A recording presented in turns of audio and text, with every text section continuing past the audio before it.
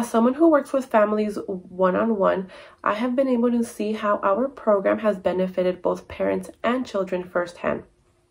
When parents come to these groups, parents are able to organically create social connections when they are sharing their experiences, exchanging contact information, or when encouraging one another. Now, when parents go home, they're applying what they have taken away from class, and in time, they see major improvement in their home. Some of these improvements are seen in behaviors in their children, also through their communication, or last but not least, in daily interactions. To learn more about our program, please visit us at www.childrensinstitute.org.